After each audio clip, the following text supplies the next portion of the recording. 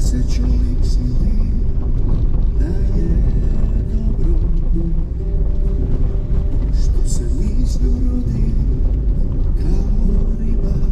je moj legendo hoćemo mi uvaći sad danas kao riba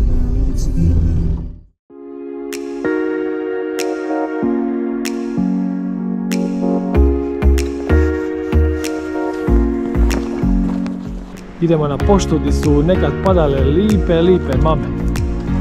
Kilašce.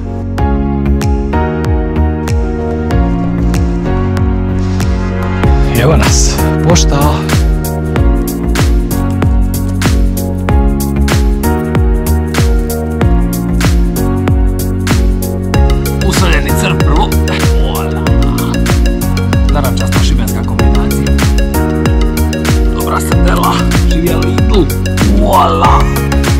Rất là.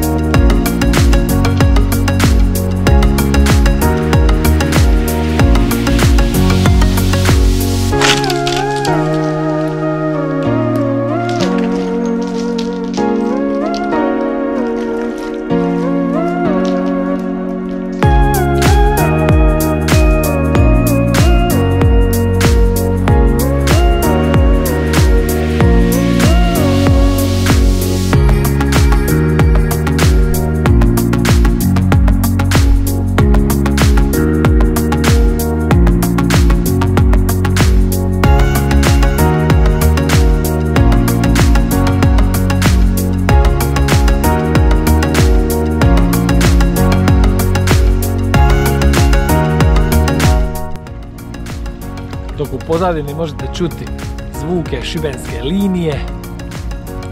A ova orada koju sam danas uvatio nije imala sreće jer je zagucala do guzice. Nešto nema ni akcije puno. Ajmo se mi sjetiti kako je to bilo nekad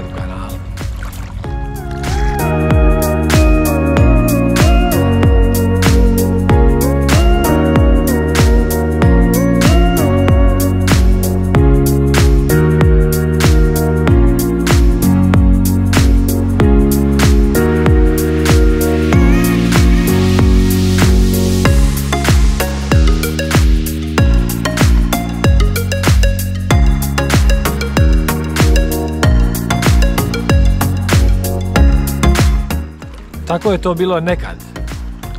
A danas ćemo opet napraviti kvalitetnu stvar i očistit ćemo poštu od smeća kojeg ima i previše.